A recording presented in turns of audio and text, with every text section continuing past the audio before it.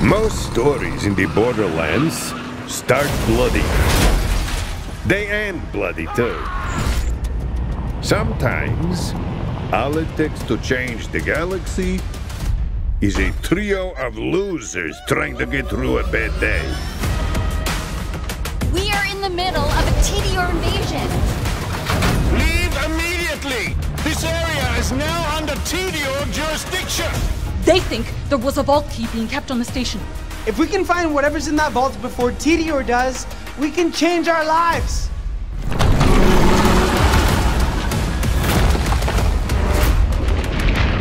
We're bad at this, like really bad. Tediore has many guns, talking guns, guns with legs. I'm gonna blast you so freaking bad!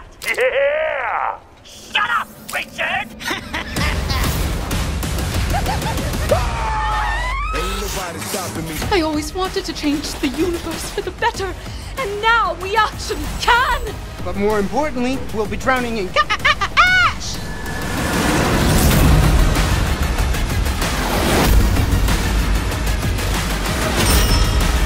Why are you people like this?